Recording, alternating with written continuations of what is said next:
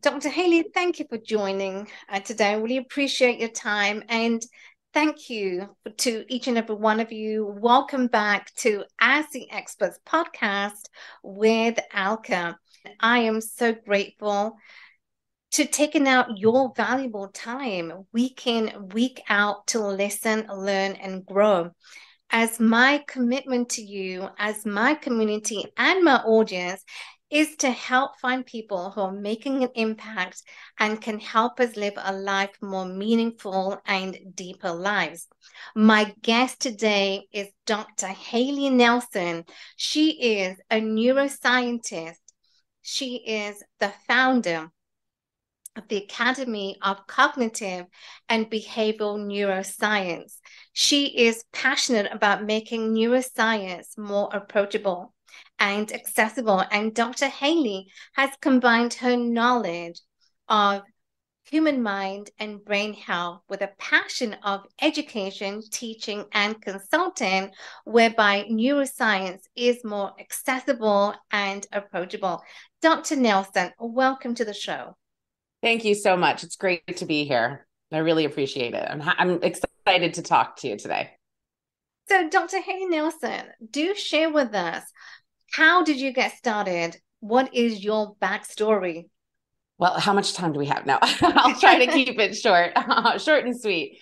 Um, so growing up, um, I uh, I was always really good at math and science, and so I had that aspect of you know who I was, my personality, but I was also really into performing arts and theater and dance and so I had to make a decision, which I think looking back on it was too early, you know, to try to pick which lane I wanted to go down.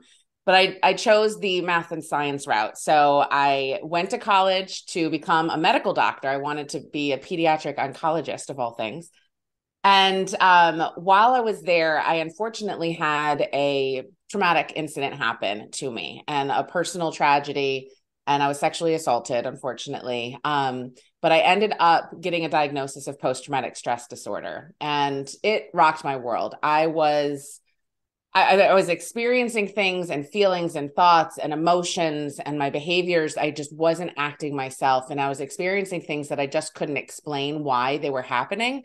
And so I really wanted to understand what was going on in my brain to figure out why I was acting the way that I was and feeling the way that I was. So um, I took and just so I was still in college and I took an intro to psychology course and I always say the rest is history from there. I mean, my mind was just blown. I was fascinated by the concepts and I really wanted to focus more in on the biological basis of the behaviors and thoughts and really understand how the brain is able to control so much and really get into the nitty gritty details. And so after I graduated, with my bachelor's degree, I did two years as a research fellow with the National Institutes of Health uh, down in Bethesda and up in Baltimore with the National Institute on Drug Abuse, where I really got to get my hands dirty, both literally and figuratively, in brains and really understanding. So I was doing brain dissections and looking at them under a microscope and really looking at the beautiful neurons and all the connections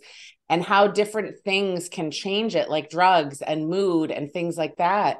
Wow. And so I knew I wanted to continue studying the brain. And so I applied to graduate school and I got into Johns Hopkins University, where I hold my PhD from there uh, in psychological and brain sciences. And I did five years of research and teaching and earning my degree where I also, in addition to really honing my research skills, I also discovered my passion for teaching and being an educator and helping to share this passion and excitement for the brain and my inquisitive nature to other people. And so um, after I finished my degree, I worked in industry for a couple years. That's what brought me up to the Philadelphia area as an expert testifier. And I quickly realized that my place needed to be in front of the classroom again. So I uh, became a faculty member at the University of Pennsylvania in their neuroscience program and undergraduate research coordinator. And now I'm a tenured professor of psychology at Delaware County Community College, where I just love being able to work with students from so many different diverse backgrounds and instill my passion and really hone my teaching skills as well.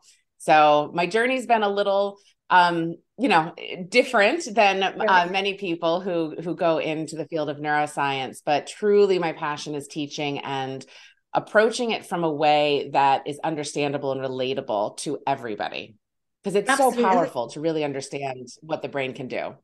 Oh, most definitely. I mean, our brain is the most complex and powerful tool. And to really understand, mm-hmm. right? To really understand. I mean, I mean, I absolutely love the field that you're in because learning about the brain, knowing that, you know, our brain is the most complex tool and how the brain plays an important role in our thoughts, our feelings, and everything that's happening in our lives. So, what is the difference between the mind and the brain? Does the mind control the brain or does the brain mm-hmm. control the mind? That's the age old question. It's like the chicken and the egg, which came first, right? right? Yeah. and so so when you're talking about the brain, it's an organ, right? It's the physical structure inside your skull and it literally it controls everything. If you're able to see me, hear me, jog memories, if you're able to feel the shirt on your back, if you're able to taste the foods, I mean, literally everything. If you're breathing right now, if your heart is pumping, it's because your brain is sending signals and communicating throughout the rest of your body to allow you to adapt and to function. And so when you're talking about the mind, right? So the brain is that physical structure that controls everything and the mind is a huge part of it. So really understanding the the brain body connection and the mind body connection and body meaning the brain as well because it's part of the body but knowing that they influence each other. So if my brain maybe the neurochemicals are off balance or the connections aren't where they're supposed to be, or I'm working on new habits, or I'm learning something. I'm literally rewiring the connections in the physical structure of the brain. And that in turn can impact how I think, how I feel, how I remember things, how I act, right? So that's affecting my mind. But the other way is also true. How I'm thinking, how I'm feeling can in turn change the wiring and the structure of my brain itself, my behaviors, my actions can shape the structure of my brain through neuroplasticity. Wow. It's kind of a hot topic word I hear a lot of people talking about, but really that's what it is. Our neurons, which are the cells that make up our brain, are plastic, neuroplasticity. Wow. And so they're mm-hmm. plastic, meaning they're moldable and shape.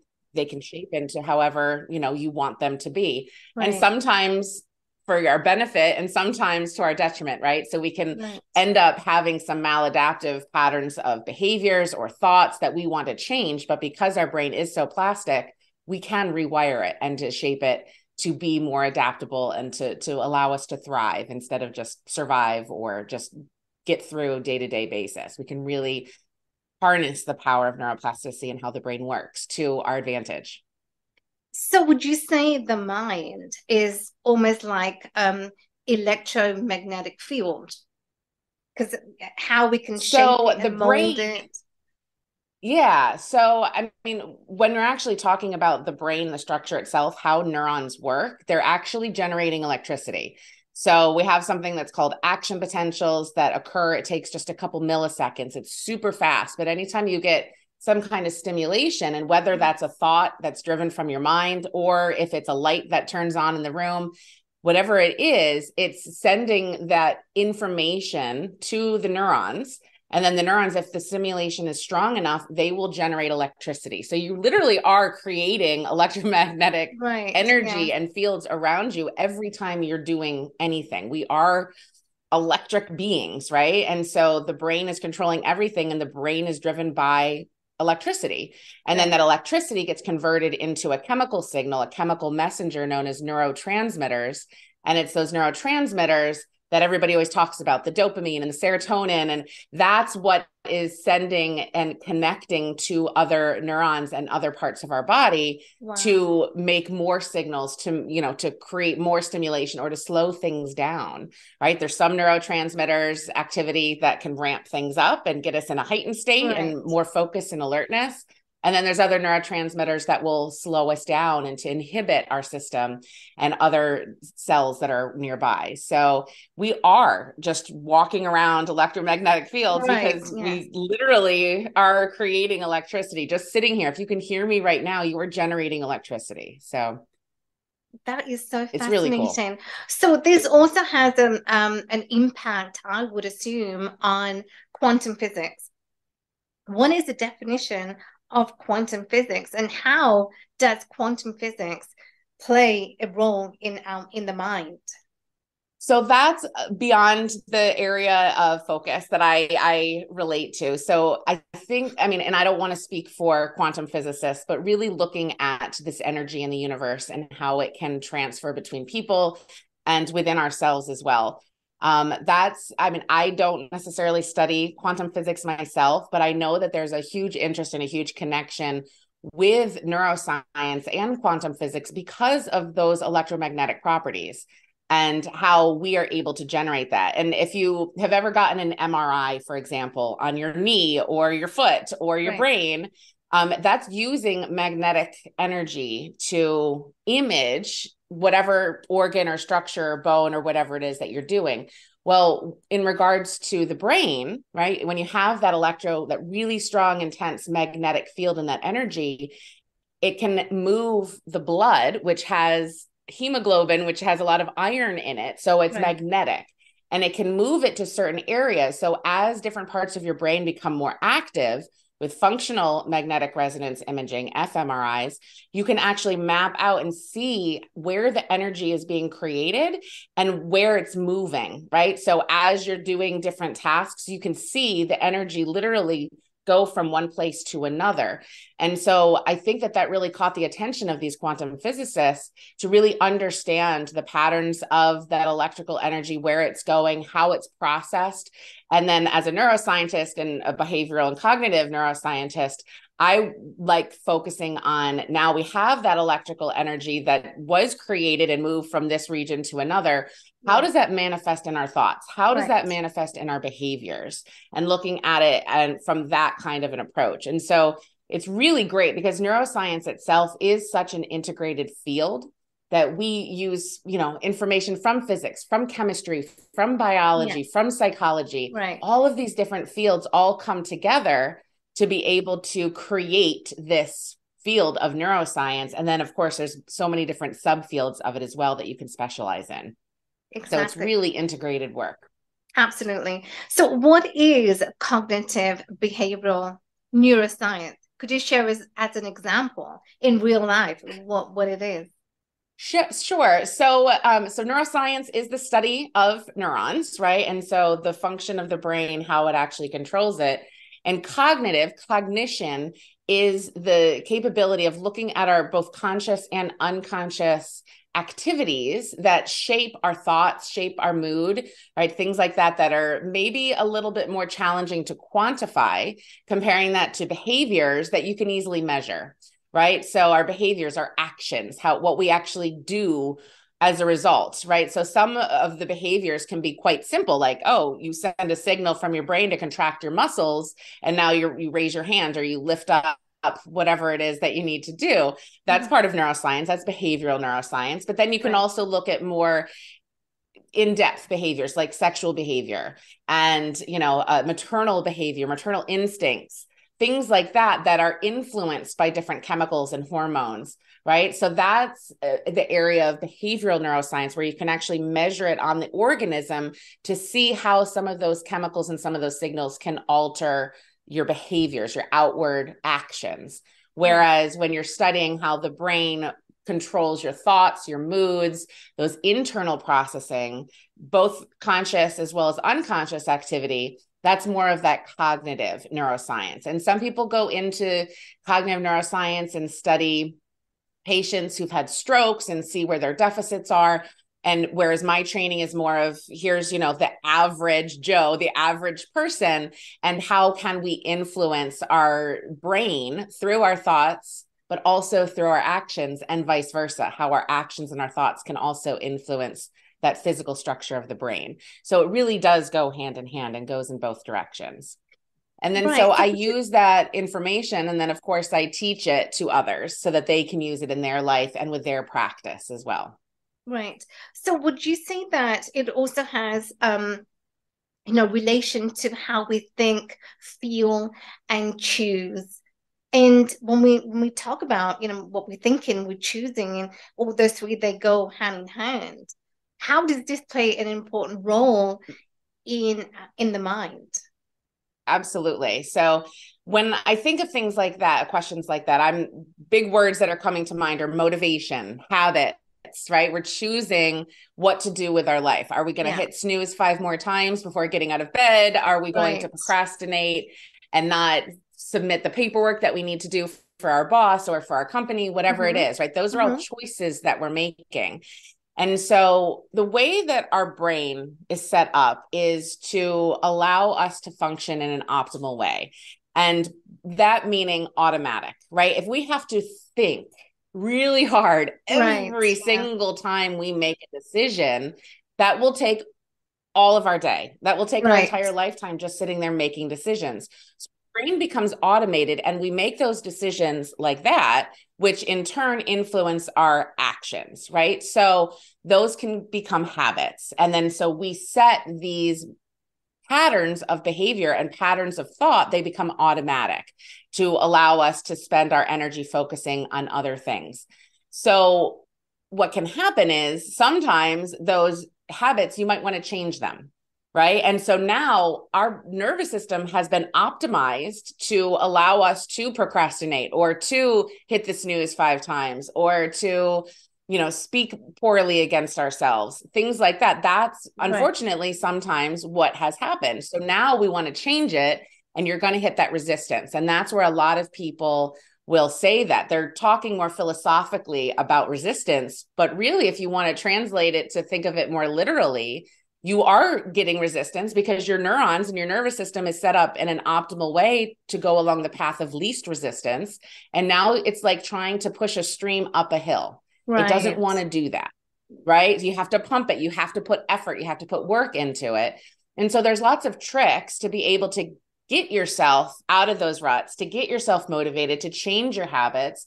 And a lot of that has to do with altering the function of the brain through you know, now that we know how the brain works, neurochemicals like dopamine, for example, they stamp in the incentive value of certain activities and thoughts and behaviors. And then all of a sudden, if we can almost mimic that dopamine response by doing certain things and giving ourselves rewards, giving ourselves these incentives in a quick way, now all of a sudden it's going to allow those habits to kick in a lot quicker. Um, so I think a lot of times there's just understanding how the brain works, how it's optimized can really help ramp up and change our behaviors and our thoughts just by making simple little tiny tweaks into how we try to overcome some of the that resistance and try to make those meaningful changes in our life. Right. So, what are some of the tools that people can use to making those small shifts, uh, changes in their lives? Yeah. So, I mean, incorporating dopamine whenever you can, but obviously, in, and I'm not saying take dopamine supplements or start using drugs or anything like that. That's going to really flush your system with dopamine. But giving yourself those positive affirmations and that reward every time you do things and to st- separate them into small achievable goals so that you actually do get those dopamine hits in a more steady fashion. But really when we're talking about neuroplasticity in general some of the key things that we have to do is repetition right? So it's you have to repeat that action over and over and over again ad nauseum, right? So keep right. doing these things. And a lot of times you have to force yourself to do it in the beginning. It's not going to be an automatic thing that we do. Think back to when we were children and learning how to brush our teeth right? You had to have your parents hold your hand and show right. you how to do those things. And mm-hmm. now as adults, you don't even think about brushing your teeth. How how could you ever go to bed without brushing your teeth? It's just, it's automatic. It just right. happens, right? You don't mm-hmm. think about it.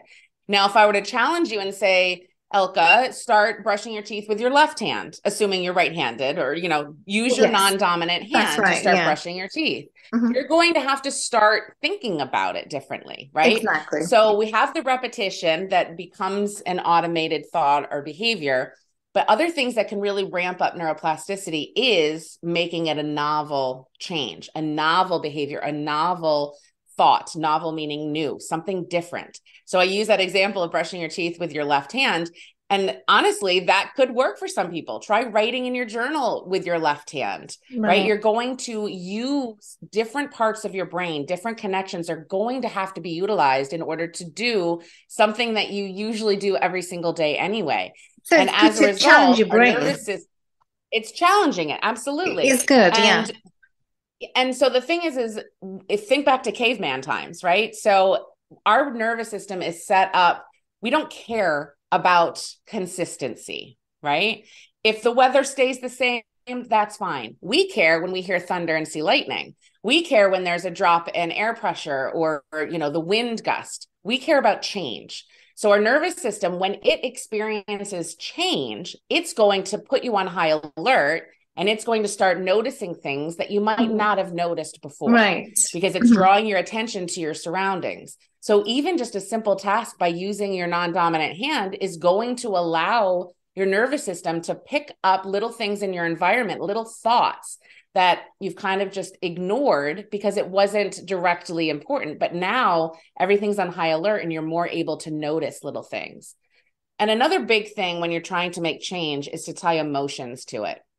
you can't just say, oh, I want to lose 20 pounds because I want to look good in a bikini, right? I mean, that's one reason why. But yeah. a bigger reason why is how you're going to feel Mm. when you're able to walk your daughter down the aisle at her yes. wedding, for example, yeah. or dance until two o'clock in the morning with What's the bigger why? Because you yeah. have that energy. Yeah. And how does that make you feel? right and so tying that emotion remembering that emotion to that behavior to that thought is so so so so powerful and emotions have been conserved through millions and millions of years of evolution and so there's a true value to having them so why not utilize that to change our behaviors Right. And there's other chemicals and supplements and things that we can do to kind of flood our brain with some of these other chemicals like neurotrophic factors that I can get into and how we can naturally do that without having to take any kind of supplements. But those are just some really kind of easy and free ways that don't really require that much effort other than being conscious and aware that you have to start doing those things. Exactly. And I, and I think the more we do, the more we challenge our brain. And this has got me truly excited now because I'm going to do that to challenge my using my non-dominant hand to you know to write or you know whatever that may be but to really challenge myself and See I what happens it's not going to hurt do that yeah we need to do that to make those small changes but to challenge our brain um, but I think to making those small shift, it really is going to make a huge difference in how, um, you know, it will make us feel. And the thoughts that will go yeah. along and with it really that. does, yeah. Absolutely. Yeah. So I want to talk and about a lot of times people look at behaviors. Oops, sorry. Yes. Sorry, I didn't mean to cut you off. and, yes, no, go ahead. No, go ahead. I was just thinking a lot of times people think about behaviors because they're easy to see, and other people can see those and say, Hey, why did you do that? Right. But I think what really drives it, and I think this might be getting to what your, your next question is, is our thoughts and our minds, some of the things that are not tangible, not quantifiable in the same sort of way. And we can be sitting at our desk saying all of these horrible negative things about ourselves but acting in a different way. When somebody walks in the room, we put a big smile on, or we dress a certain way, we put makeup on, we do our hair, we look perfect on Instagram, right? But inside, our mood is affected. Our thoughts are not happy. We're not perfect, right? We're a hot mess on the inside. And, but on the outside, we might project this perfect right. yeah. family and perfect business mm-hmm. owner and whatever it is. And so it's just as important when we're talking about habits and talking about doing these behavioral things to really challenge ourselves to change our thought patterns. And those habits can be just as impactful, if not more impactful.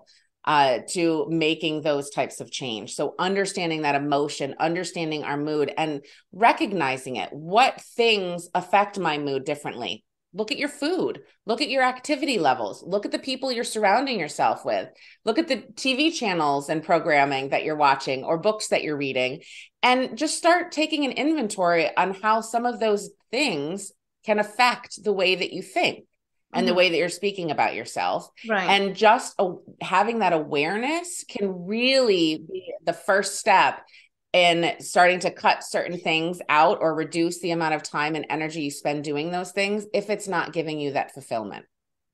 It, absolutely. Uh, you talked about, you know, your surroundings and, you know, paying attention. I don't listen to the news. I mean, it's just so negative because that infiltrates, you know, you listen to the negativity on the news, etc., you know, movies and that really affects your mind and i rather not pay attention to that so taking being aware of one thing and you mentioned also how internally we you know we are different but on the external we project to our you know family friends co-workers etc so how can we begin to change our internal how can we how can someone change? The viewers listening.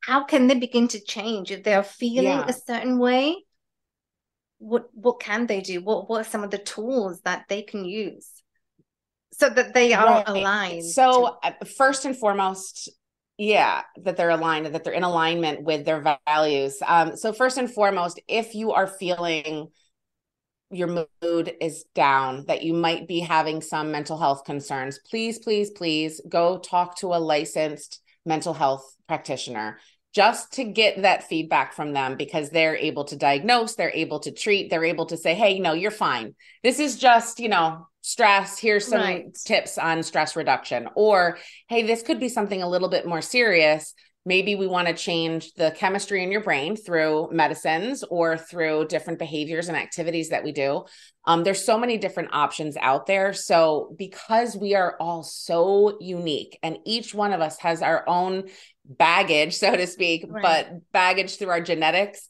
baggage through our biology, baggage through our chemistry, but also really importantly, baggage through our environment and our previous experiences, right? And baggage can be good or bad, right? right. So yeah. that Depends all shapes who we are. So I love to think of us.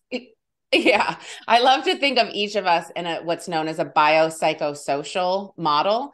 So looking at us as a whole is going to look at those biological issues that we might be having looking at us from so bio psycho psycho not in a bad way but psycho short for psychology. So looking at our psyche looking at our moods and our thoughts our personality traits things like that. And then in a social aspect as well who are we surrounding ourselves with? What is our community like? Are we religious and in a religious faith-based community? Are we you know at the gym all the time and working you know surrounding ourselves with people who are always trying to be better and improve? Uh, you know or are we around a bunch of toxic people right? So right. or actual toxins in our environment as well. Maybe not toxic people but toxins. Yeah, toxins think yeah. about all of those things right?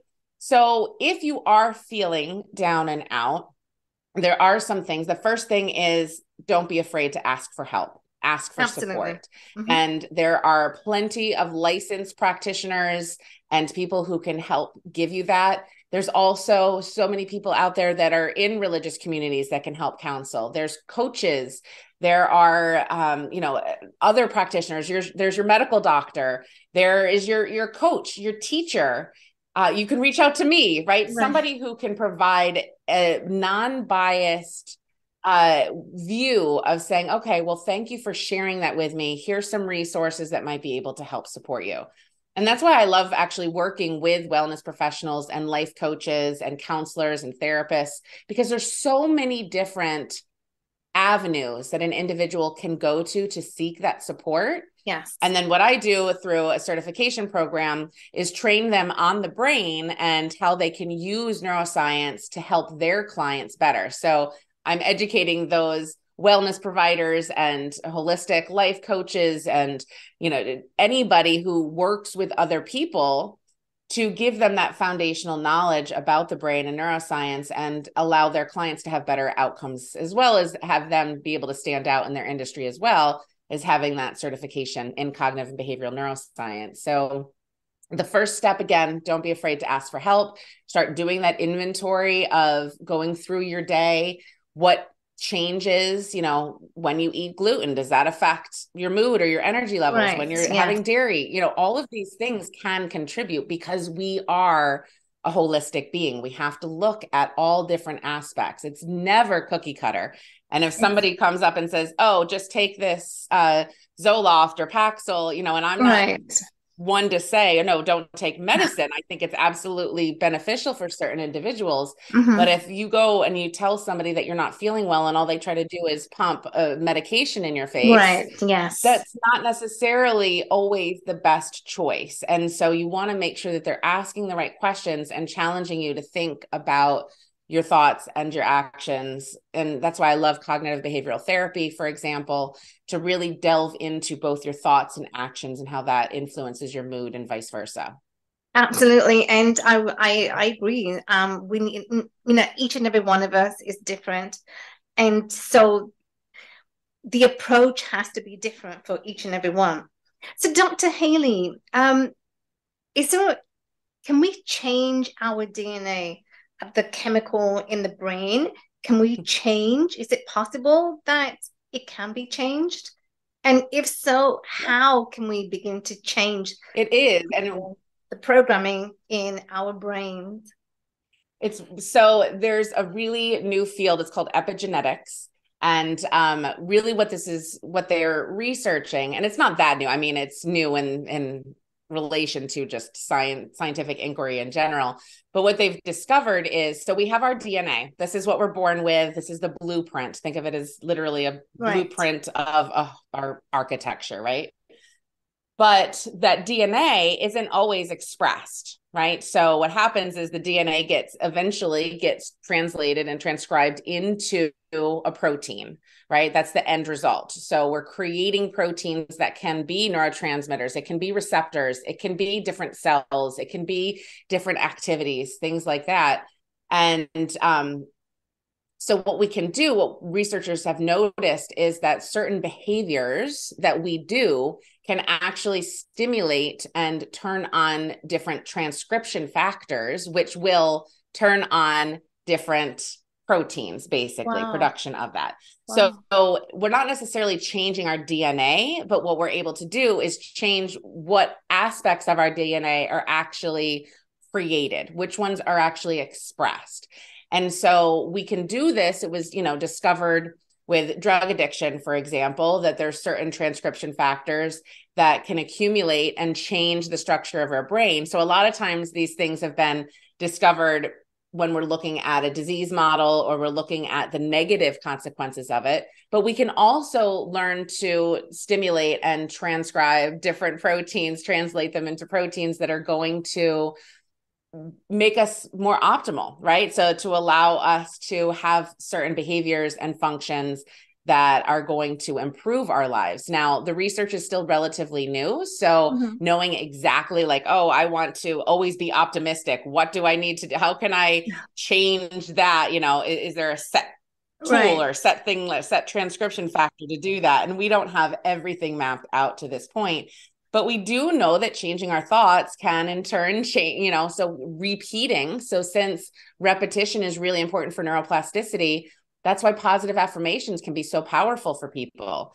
You might not believe them in the beginning but you keep repeating it over and over and over to yourself. Eventually you start believing it Right. And that's right? how you, you become. start imagining and visualizing where you're going to be. Yeah, 20 years from now and tie that emotion to it. Don't just say, oh, I'm going to own my own private island. No, really think about how is the sun going to feel on your skin? How's the sand going to feel in your in between your toes when you have achieved that level of success, however right. you want to define it? And really get all of those senses tied into that visualization and then repeat that visualization every single day and eventually your brain is going to think that that actually happened. And right. that becomes the automatic. When you start making those mundane choices in the grocery store to be thinking in a pattern that you've already achieved that success right? So all of your day-to-day choices and decisions are going to go through that process of oh i've already lived this. I'm already there. Right. So your choices your actions your thoughts are going to fall in line with that affirmation that visualization that persona that you've put out there that you're thinking over and over and over in your head. So there is a lot of power to that. Exactly. So our brain can't tell the difference between real and what's fantasy. So we need to really challenge the brain to, you know, with the affirmations, as you mentioned, the tools that we need to do to see ourselves being that person, being in that place right? Because our brain can tell. Absolutely, and so yeah, so the brain, I always like to call it uh, the perceived stimulus, right? right? So the stimulus can be there or not, but it's how you perceive it. And right. everything in our life flows through our own psychological filter. Everything. We have a stressor in our environment, and how we think about that stressor is going to impact everything else behind it, right? right? So everything flows through that psychological filter. So if you really strengthen that psychological filter, however we process and allow us to perceive things, right? If we're a very pessimistic person, the mailman delivers the mail late and oh i'm never going to get paid or this you know right. and then you start catastrophizing mm-hmm. versus somebody oh i hope tom the mailman's okay I hope there's nothing wrong. I I wonder if he's having a hard day at work. Maybe I can give him a little treat. Right. How you process and think about every single thing. Or somebody cuts you off on the road, you can flip them off, or you can just say, "Oh, wow, they must be in a rush. Maybe I should oh, slow exactly. down for them." So they can it's your perception. Me. It's your perception. It's your perception. Mm-hmm. And so by changing the way that your brain is wired, can allow that filter to allow you to perceive things in a different way, which is then going to set the tone for the rest of your day, the rest of your thoughts, the rest of your actions. And you can do this, you know, again, repetition, tying emotion to it, making it novel. Those are some key things. And another really key and easy thing, as long as it's medically appropriate, is to incorporate exercise into your day um if you can do it every single day great but just the as much as you can get in there you know at least three times a week 30 minutes a day i would right. say minimum of aerobic activity has mm-hmm. actually been shown to have the same benefits and the same effect as prescription antidepressants right and so what researchers have found is that it releases a neurotrophic factor or transcription factor right that we were talking about that it's called BDNF, at uh, brain derived neurotrophic factor. Don't worry, it's a mouthful. Just know that there's a chemical that's released when we exercise and it covers all of our brain cells. It actually works to protect them. So it prevents them from dying, but then it also helps build those connections. So while you're trying to work on your habits or your thoughts, even if it has nothing to do with your physical appearance or activity level or your physical health, uh-huh. But if you can add some of that aerobic activity, right. it actually is going to help strengthen those connections. Um, so that's a really, again, as long as it's medically appropriate for you to be able to incorporate that. And I always tell people, do as I say, not as I do. so just do the best you can. Every little bit helps. Absolutely. Every bit does help. Um, and I rather would stay away from uh, you know, medication, but go the natural route and to exercise. So absolutely. So when, when we, the final question, when we talk about you are the founder of the Academy of Cognitive and Behavioral Neuroscience, where is research headed towards the cognitive, cognitive and behavioral neuroscience? Where does research play right now? Every day and mm-hmm. this the academy that i've created next year is going to look totally different because new research has come yes. out and new new technology and new advancements advancements in science and i am trained as a researcher and from a very um, empirical based you know research driven philosophy that has you know through the rigors of of the scientific inquiry and scientific method. So I, for everything, you know, it's a kind of my husband almost laughs sometimes. He's like, "Can't you just go with it?" And I say, "No, I want to understand why or how this You're works." Curious. For everything that we do, I really. You can't just kick a soccer ball. I need to understand the mechanics behind it right. and the, the physics yeah. behind it. And he's, you know, sometimes he says that I just take the fun out of some things, right?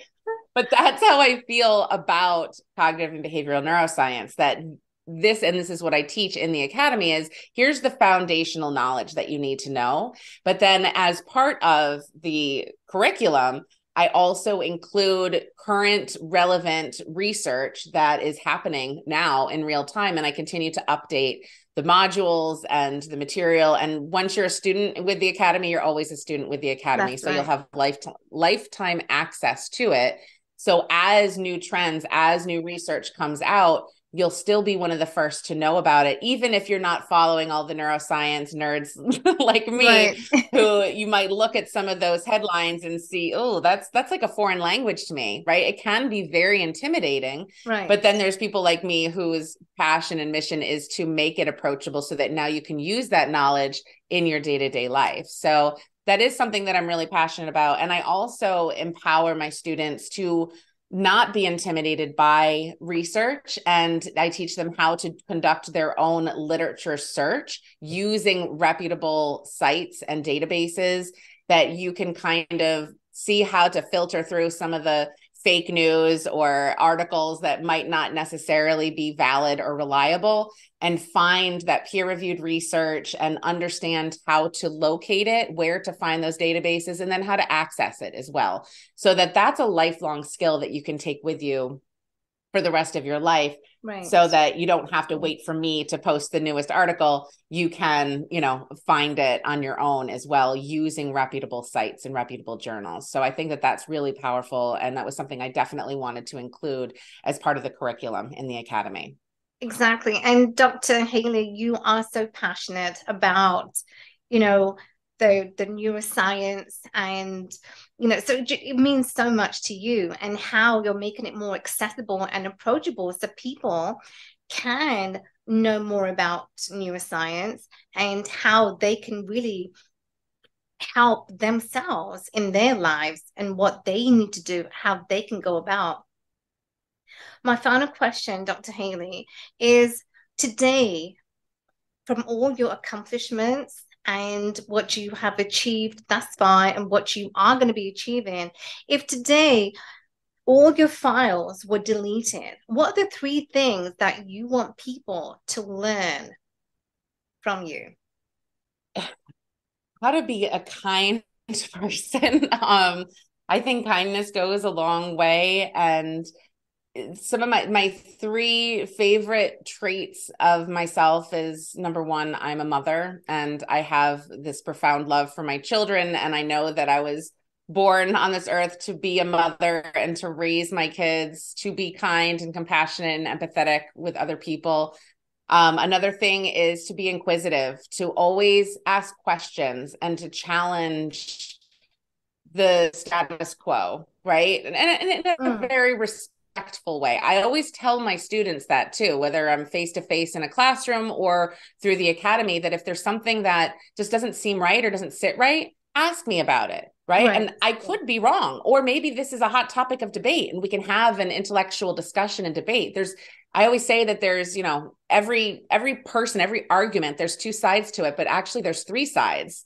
There's your own perception because again, everything flows through that psychological filter and we all have our own baggage that we talked mm-hmm. about. And yeah. then there's reality, then there's the actual truth, right? And so we have to figure out what that is. And so being inquisitive to challenge the status quo, to not necessarily take I don't know as an a, official final answer, I think that if somebody asks me a question and I don't know the answer to it, maybe I I just don't know, but then also maybe nobody knows. So I mm-hmm. hope that inspires that curiosity in other people to then go research it in a lab, to go right. find it, to do a a literature search and try to figure out the answer to that question. I think that that is so important to be able to teach those skills to our children so that they can become adults who continue to ask questions and be curious be to curious. find those answers and to be creative, to think outside the box instead of just in these very like strict borders and lines.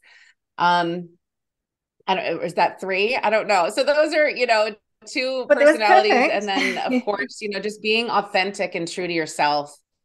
And I know it's hard, but there's a lot of people out there who, you know, project themselves one way uh, in online and but then in reality they're a completely different person. And those are not people i personally would want to surround myself with. So i want to put myself out there as me. And if right. you don't like me if you don't like what you see online then you're not going to like what you see in person in reality. Right. so absolutely. I it, but if you do like what you see online then you are going to be drawn and like what you see in reality in person. So I think that it's really important to just be true to yourself uh-huh. and to really take that inventory on what you're doing on a daily basis and do those quarterly you know if, if you're in accounting field you, you have quarterly budgets do a quarterly budget on yourself and where your energy is going and make sure that you're putting your energy and your focus and attention on the things that truly bring you happiness and joy and if you are in a career or if your business or if whatever your marriage isn't in line with that,